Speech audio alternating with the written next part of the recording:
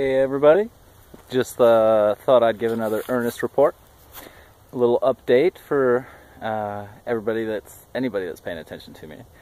Um, let's see, it is Thursday, it is January 19th, and tomorrow is January 20th, the big inauguration day.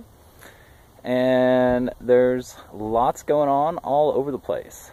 Um, a lot of small cities out here in Fayetteville, they're having event, events. Um, even in Little Rock, um, and of course in DC. Uh, this weekend, however, uh, I decided to, I got invited to a sweat, so I'm going to go help uh, with that tomorrow and prepare for that. Help get it set up, um, get some wood ready. Uh, wanted to let everybody know uh, what I've been doing the last few days, this week in particular. So, as you may know from reading or following me on Facebook, pretty much on Martin Luther King Day, there were four different lockdowns on fossil fuel infrastructure. Uh, one of those was the Arkansas Rising Nonviolent Direct Action Group in Memphis at a Valero refinery. And uh, pretty much every day since then, there's been a nonviolent direct action, and of course, in Standing Rock, they are still getting hit with rubber bullets and pepper sprayed and tear gassed. Um, and there was a lockdown this morning in Texas.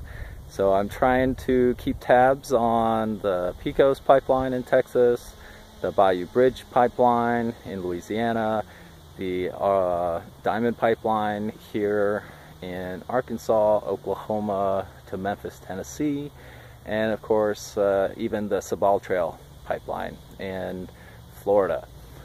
Uh, which is 83% complete by the way so they're asking for support and folks to come down there and help them out um, a question I had for everybody that may be interested or that has contributed in particular to my GoFundMe campaign is the possibility, I'd like to know what everybody thinks about me possibly going down to Florida.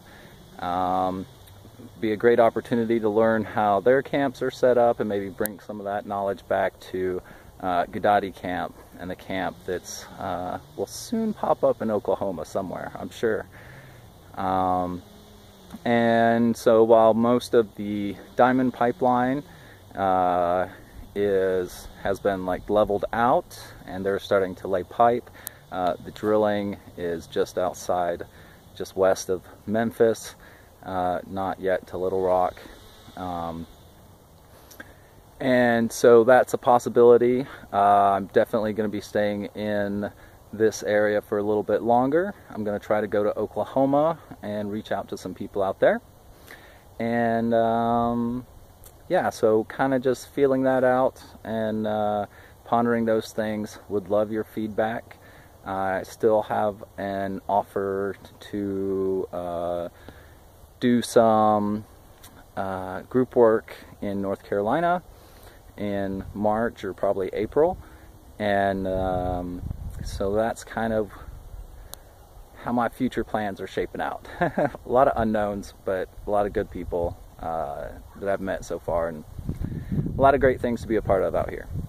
So with that, I just wanted to show you some of the orchard trees that I've been pruning. Um, let me get this flipped around, I guess, not flipped around. But, woo, okay, it's they're actually behind me.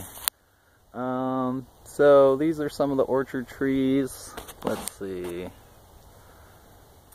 Boom. Bright in the sun. I don't know if you can see that. And then Dagan built an awesome grape arbor using some black locust posts.